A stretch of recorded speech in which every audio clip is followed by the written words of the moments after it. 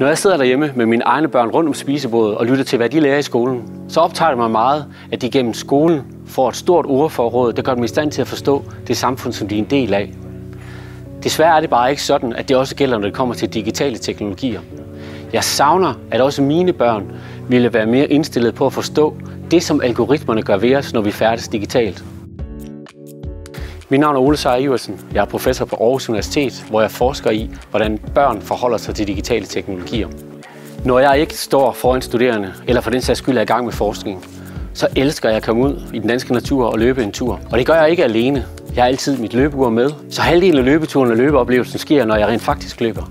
Den anden halvdel, den sker foran computeren, når jeg selv kigger på mine egne data og deler dem. Det er måske et meget godt eksempel på, hvordan digital teknologi har snedet sig ind, og ikke længere er noget, der er rundt om os, men er imellem os. Igennem de seneste år har vi lavet forskningsforsøg omkring, hvordan børn bliver mere nysgerrige, men også kritiske over for digital teknologi. Med det begreb, som vi kalder for digital myndiggørelse, der satser vi på, at børn i fremtiden vil kunne afmaske intentionaliteten i digitale teknologier, ganske ligesom at de forstår og forholder sig til en tekst af Tove Ditlevsen. Så i fremtiden der vil vi opleve børn og unge mennesker med den rigtige træning, der vil kunne forholde sig kritisk til, hvordan teknologierne kan være med til at forbedre deres eget liv. Når jeg underviser på Aarhus Universitet, så ser jeg nogle studerende for mig, der skal ud og gøre en forskel på et fremtidigt arbejdsmarked og forandre det samfund, der skal gøre, at vi får en samvittighedsfuld digitalisering.